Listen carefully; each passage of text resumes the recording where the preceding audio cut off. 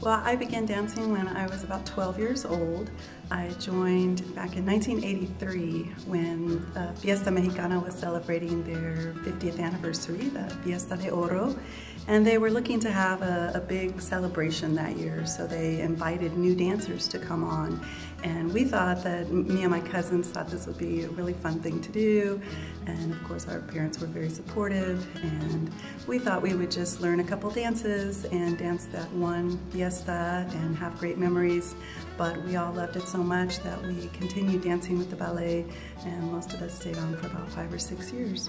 And it's some of the best memories of my childhood.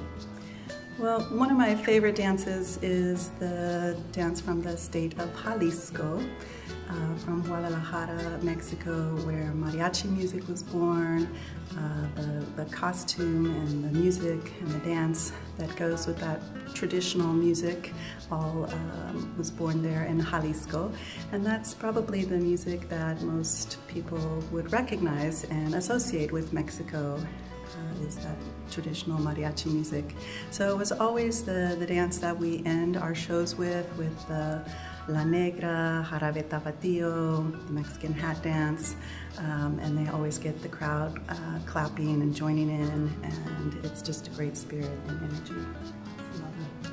Yeah, each of the costumes is uh, has symbols in it that is connected to the region or the state of which it originated. So every region, every state in Mexico has its own particular style of music and dance and performance.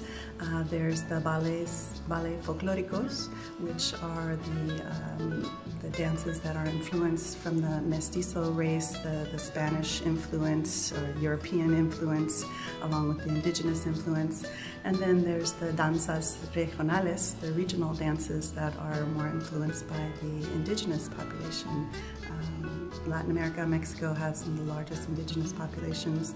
Um, and so a lot of the dances are, are reflective of those indigenous um, races as well. So uh, the Jalisco dress is uh, one of the more dramatic costumes. It has a lot of material. It's very heavy.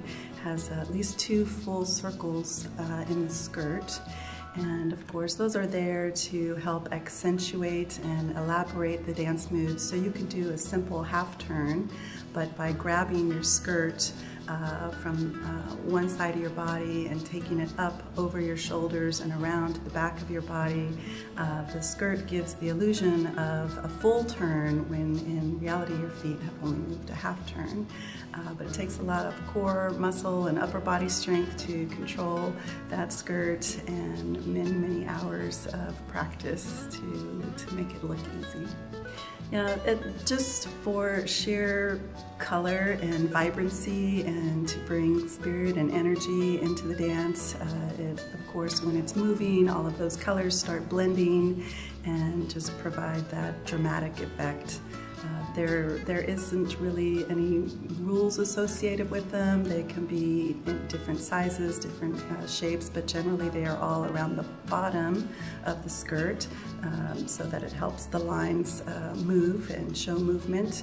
Uh, but you can have any color combination and, and that's one of the things that uh, was really special about being a dancer is you got to select your own color of dress and the different colors of ribbon that would complement it and it became your unique uh, performance outfit.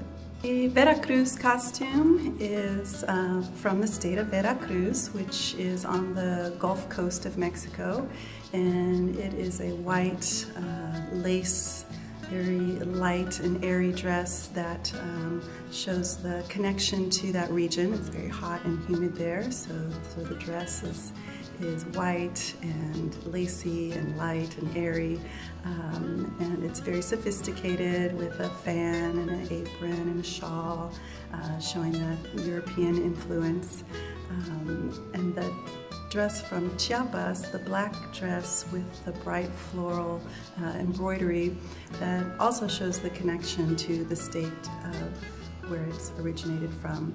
Uh, the state of Chiapas is in the southern region of Mexico, which is that more uh, jungle and cloud forest region. So the, the black color shows the density of the jungle, but the bright flowers show the bright floral and, and fauna. And the dresses um, rep representing that, um, that jungle and, and, tropical region, the dance reflects um, some of the animals of that region. So I can remember performing a dance where we were bird-like. So instead of um, the big grand gestures of the Jalisco skirt, we instead had little fluttering movements like of bird's feathers and you know, neck movements like a, like bird. Um, so that shows the, the mixture of those indigenous influences on the Chiapas region. Being involved in um, Ballet Folklorico from a young age helped me to develop my connection to my culture, to language, to the festivals, and with that deeper connection, I later in life studied Spanish and became fluent. Um, you know, my, my, mother was born here, so it was her first language, but when going to school and and throughout life she mostly spoke English and then it wasn't spoken in my home when I was growing up so it was something that I had to regain and learn as a third generation and it has uh, had a huge impact on my life and my future career working in education and international education and traveling. So it's it's really important for children to explore their culture and their roots and and they never know where it might take them